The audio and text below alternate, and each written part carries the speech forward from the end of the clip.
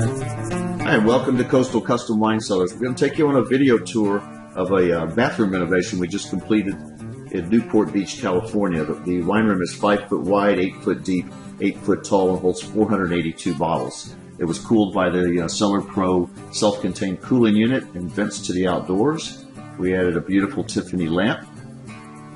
And what we're about to look at here is the lattice style arch, and just above that we had a, a three liter display, horizontal three liter display opening for the client.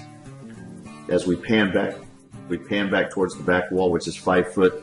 You'll see it's mostly single bottle storage with high reveal display row, some label forward horizontal displays for magnums and 750 milliliters.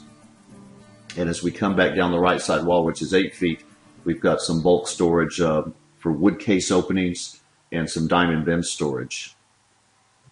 Really think the lattice style arch is uh, quite elegant. Uh, we offer several different options, but we really like that one a lot, especially in this particular wine room. The cellar, the wine cellar entry doors are Barolo style dual pane glass door.